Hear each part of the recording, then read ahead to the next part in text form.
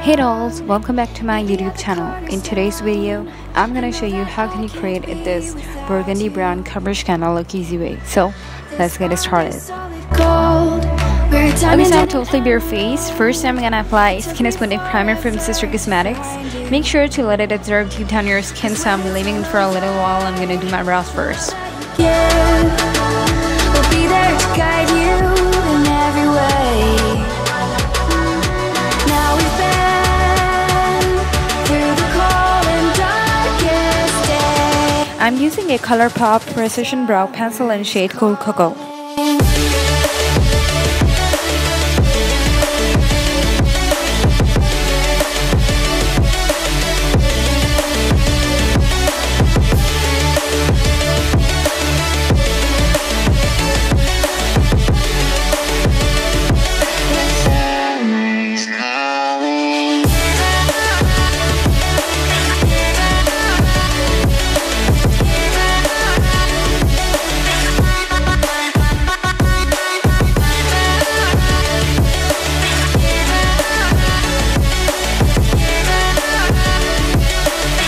Always make sure to use a spoolie to blend the inner side of your brows so it won't look so fake but naturally yet carved and dramatic. Next I'm using a brow gel from ColourPop in shade dark brown and me, this is my holy grail and favorite of course.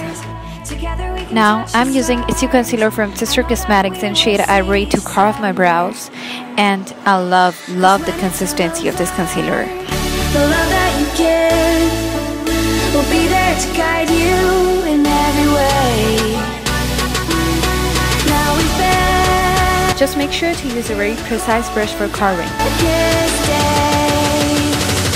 The summer's calling.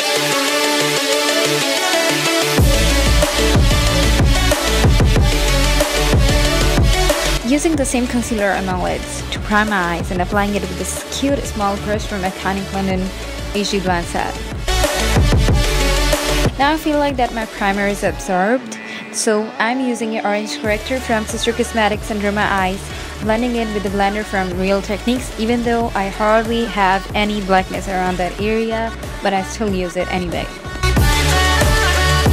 Now I'm using Its U Foundation from Sistar Cosmetics and I think it's good for daily use because it's buildable yet not very thick.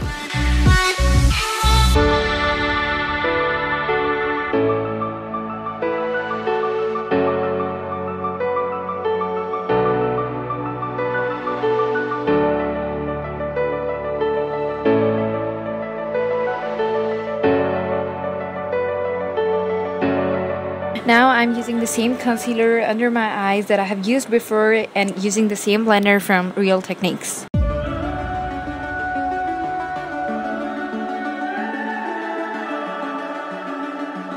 The summer's calling.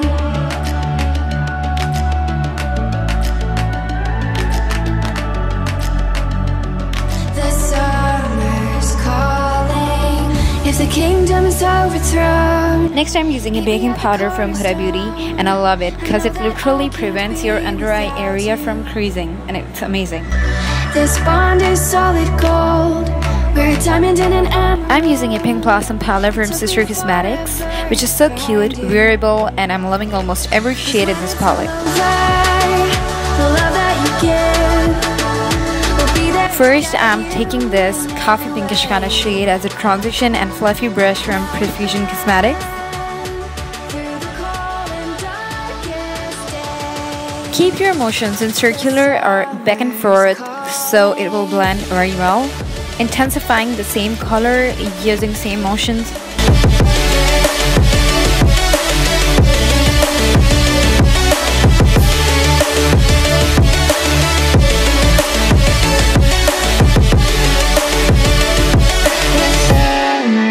Now I'm taking this pink purplish shade and applying it in my crease with a brush from Van Wild. The motions back and forth for the crease.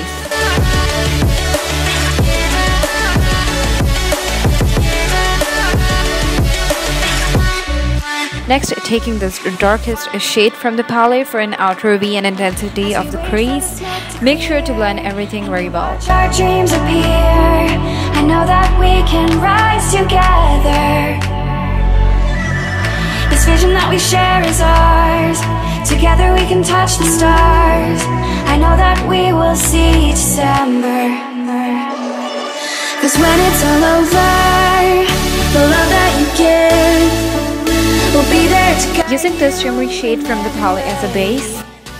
Next, using the same darkest shade from the palette from a lower lash line and blending it. in darkest days.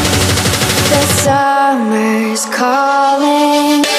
Next, taking this black single shade from Colornoir to define my lower lash line with a flat brush.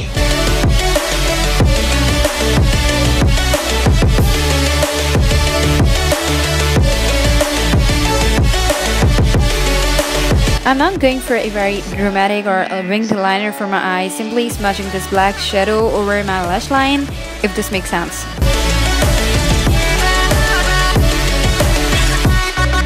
Next, using this matte melted shadows from Huda Beauty from a lid, the shimmery side basically, and blending it with my finger. Make sure to blend it as soon as possible because it dries out real quick. Taking this lightest shimmery shade from the palette and using it as a highlighter.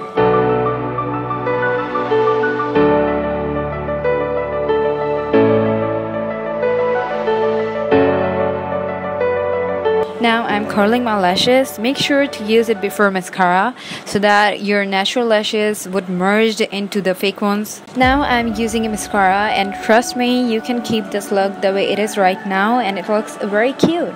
But if you need to make it a little more dramatic, use the fake lashes then. I'm using lashes and Farah from Huda Beauty and I apply them off camera. The summer's calling. If the kingdom is overthrown, meet me at the cornerstone. I know that I can't be without you. And here's the final look. Thank you for watching this tutorial. If you enjoyed it, please give it a thumbs up. See you in my next video. Bye dolls! Took me forever to find you. Cause when it's all over,